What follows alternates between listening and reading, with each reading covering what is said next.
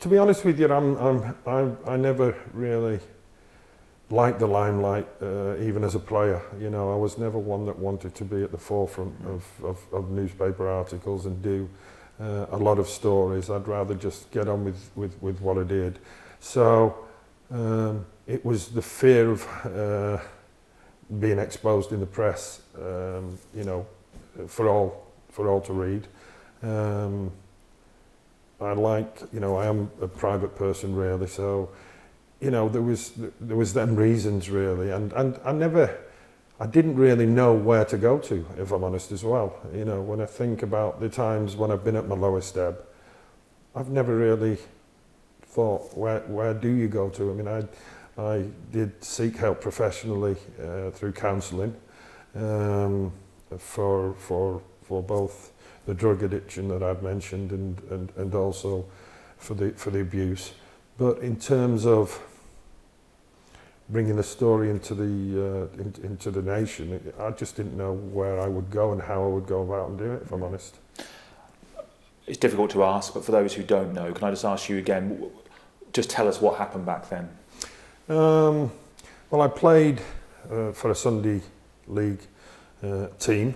Um, and the manager used to pick us up in his car because my parents didn't have a car so you know to get to games he would pick us up. He um, he would ask if anyone wanted to steer the steering wheel in, in them days. Um, you would sit across the gear stick and he would then start touching you. And I guess dependent on your reaction was you know it was his way of who he was going to target.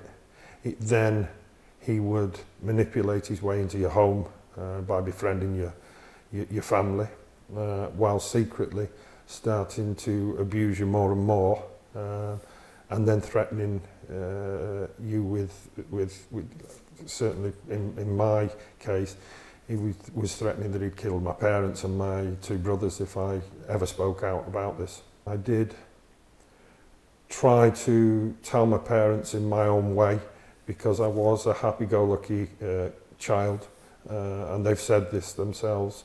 Um, and then I just went withdrawn and didn't speak for almost a year.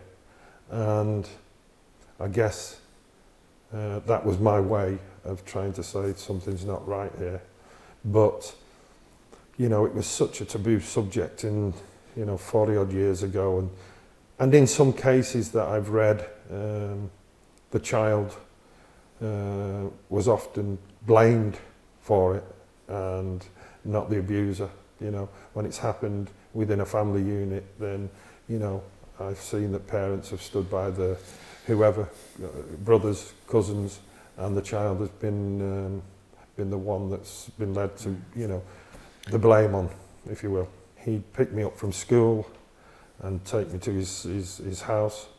Um, any which way he could manipulate the situation. Now, for legal reasons, you can't name that man, but it wasn't Barry Bennell. It was not him. There no, was... it was. It wasn't Barry Bennell. No. Did he ever refer to Bennell? Your... Yes, many times.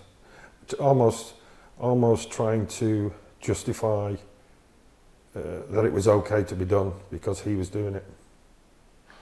Looking back now, what does that make you think about the possibility that there was some kind of network? Um, or could ob ob yeah, obviously I cannot name names that, that have been branded about because of legal reasons. Mm -hmm. um, but